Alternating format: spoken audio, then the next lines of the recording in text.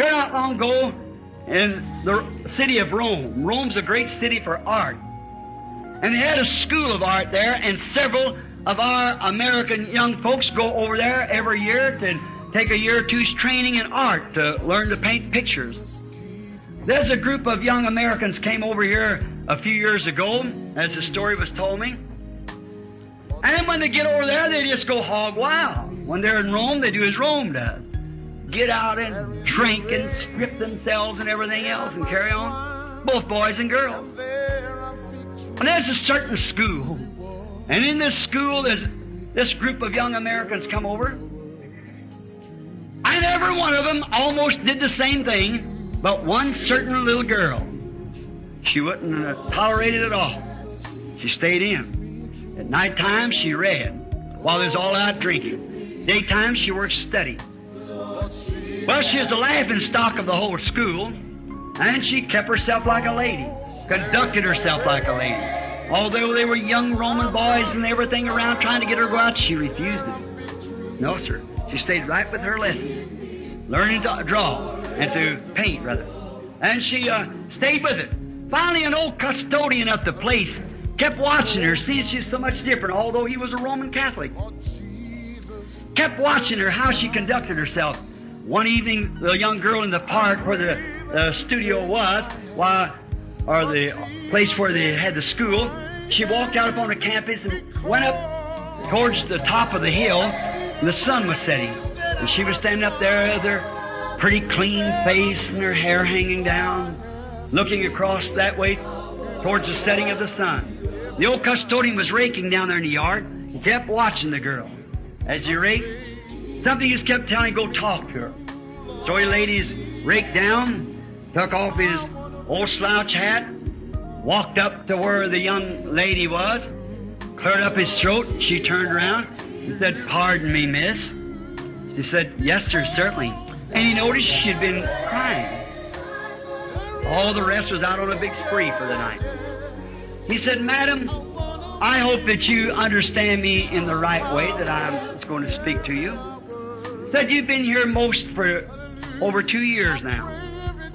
And I've noticed the group that you come with continually, they're out on parties and coming in all times of night, drunk clothes half off of them and everything. But I noticed that you don't attend such parties. And said, I, I noticed that seemingly that you're always looking across the sea. Of an evening, you walk up here and stand here each evening and watch the sun go down. He said, what, what causes that? Said, I'm an old man and I, I'm curious of knowing what causes this difference between you and the others. She said, yes, sir. She said, sir, I'm looking towards home. When the sun is setting. She said, across beyond that sun yonder is my homeland. And she said, in that land there is a certain state. And in that certain state there's a certain city. And in that certain city is a certain house. And in that house is a certain boy. She said, he too is an artist. When I left to come over here, I pledged my love to him. We're engaged to one another. And she said, no matter what any of the rest of them does, that has nothing to do with me. She said, I promise to live true and right. And she said, I'm longing for the day that when I feel myself on the top of the wings of that big plane, they'll take me across the sea and set me down at the airport where he'll meet me. He's building a home. And we'll live together in that land. And said, That's the reason I act the way I do. I'm true to the promise that I made a boy. And he's true to the promise that he makes me. So I hear from him now and then, and I'll write to him. And said, corresponding with one another, we're still holding our vows, waiting for the day we meet.